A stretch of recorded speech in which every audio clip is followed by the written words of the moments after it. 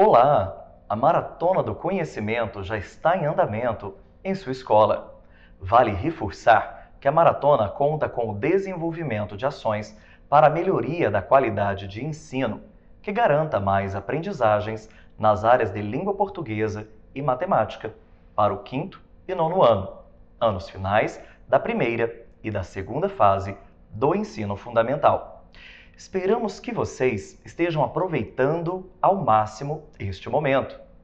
Assim, para encerrar essa etapa com toda a animação e empenho, convidamos e reforçamos que participem do simulado da Maratona do Conhecimento, que vai acontecer em duas datas.